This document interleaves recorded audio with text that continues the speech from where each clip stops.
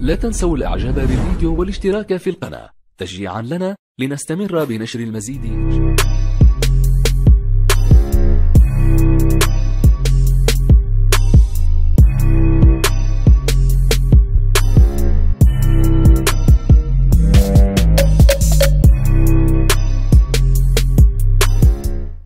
إذا هم الآن أمام خيارين إذا فكروا في تطبيق المادة 102 معناها من الدستور القديم معناها الدستور هذا انتهى. وإذا أرادوا أن يطبقوا آه، الدستور الجديد لازم يكون وقعوا الرئيس ولازم يوقع يوقع قانون المالية ل 2021 وهذه لازم يظهر في صورة وهم أعتقد بأن ظروفه الصحية لا تسمح بظهوره حاليا. أكثر من شهر هو في العلاج وبالسيروم وفي حالة راه راه الجلد على العظم.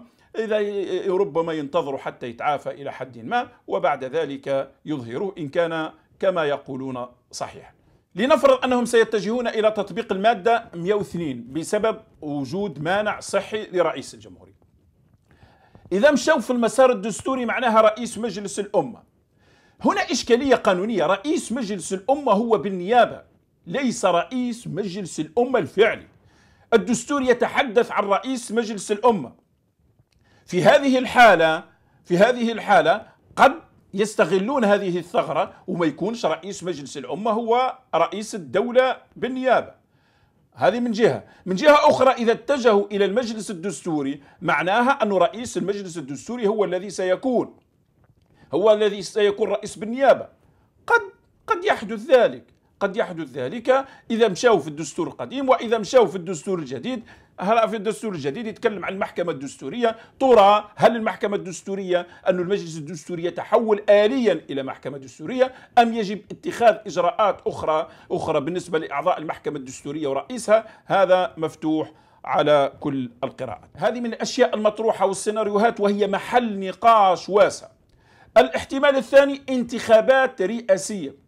انتخابات رئاسية يعني بعدما يتم ضبط هذا الأمر عن طريق المجلس الدستوري وري بهذه الطريقة تكون هناك انتخابات رئاسية. الانتخابات الرئاسية بين احتمالين، هل يريدون انتخابات رئاسية فعلية نزيهة يشارك فيها حتى الحراك الشعبي وشخصيات آه، التي تتصدر الحراك الشعبي هذا جهة أو أنها تكون أيضا انتخابات رئاسية على المقاس.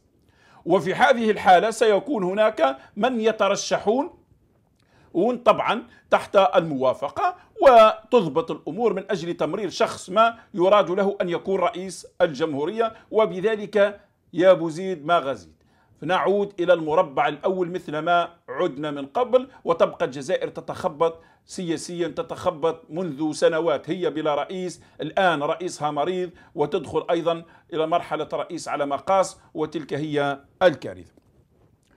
أما إذا كان يكون انتخابات نزيهة وشفافة لا أعتقد أنه كل المؤسسة العسكرية ستكون راضية أنه يطلع لها رئيس آخر من الحركة الشعبي قد يطلع أي شخص آخر مترشح. وفي هذه الحالة ربما يحدث خلل ونحن نعلم بأن النافذين في المؤسسة العسكرية القائمين حاليا لا يريدون أن الرئاسة تخرج من بين أيديهم. يريدون أن الأمور تمشي كما يحلو لهم وهذه تحديدا موجودة في الفريق شنغريا. السيناريو الآخر أن الرئيس يعود فعليا ولا يظهروه والرئيس يقول بأنه عاد وأنه في ظروف صحية ليست ليس لا تسمح بظهوره الآن ولكن الرئيس أنه آه، وقع على الدستور يحل المؤسسات وأنه أعلن عن مرحلة انتقالية وتنظيم انتخابات رئاسية لا يترشح لها وهو في وضعه الصحي الحالي.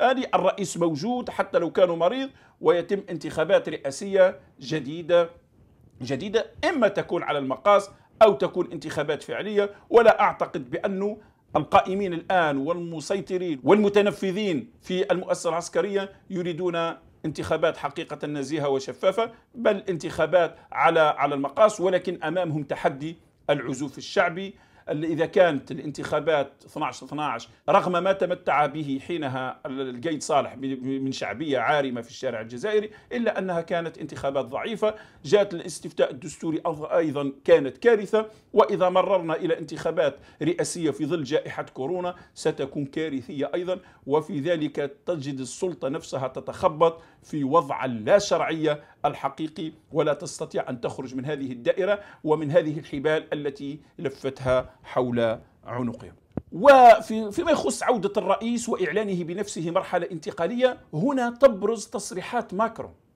أن الرئيس شجاع وأنه سيدعمه في مرحلة انتقالية. هنا قراءة أخرى قد تتحدث من أن الرئيس الفرنسي خاصة أن هذه التصريحات جاءت بعد زيارة وزير داخليته وقبلها ثلاث مرات وزير الخارجية وأنه توفرت لديه معلومات بأن السلطات تعتزم بأن تكون هناك مرحلة انتقالية في الجزائر. الرئيس تبون هو الذي يقودها بعد عودته مهما كان وضعه الصحي ومهما كانت حالته. هذه من بين الأشياء التي يجري الحديث عنها. السيناريو الآخر يتعلق بإعلان وفاة الرئيس. وهنا السلطة أمامها المسار الدستوري. هنا تكون أولا حاجة إذا كان أعلنوا عن وفاته قبل عودته معناها الدستور الجديد انتهى معناها يتمسكوا بالدستور القديم والتمسك بالدستور القديم معناها أنه أن تكون هناك مسار دستوري مثل ما سبق وتحدثنا عنه فيما يخص المجلس الدستوري ومجلس الأمة وما إلى ذلك.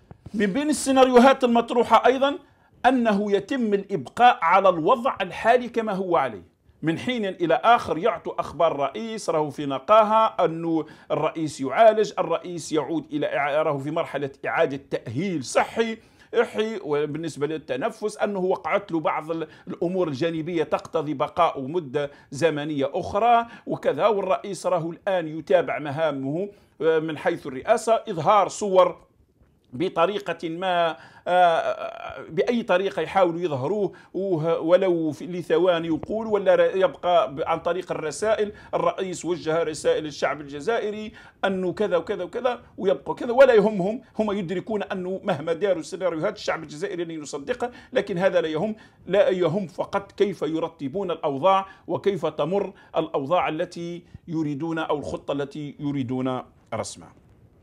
ولكن هذه فيها مخاطر كبيرة.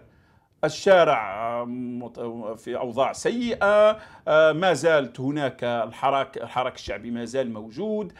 الجزائر قد تعود إلى الحراك في أي لحظة. الجزائريون هكذا عادوا إلى المرحلة البوتفليقية التي دفعتهم إلى حراك 22 فيفري 2019 قد تدفعهم مرة أخرى إلى الواجهة. هناك الكثير من التحديات. ترى المؤسسة العسكرية بلا أدنى شك إذا راهنت على هذا الطريق.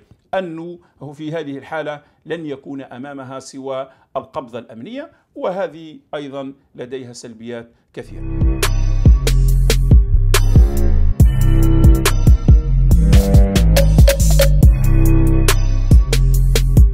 لا تنسوا الإعجاب بالفيديو والاشتراك في القناة. تشجيعا لنا لنستمر بنشر المزيد إن شاء الله.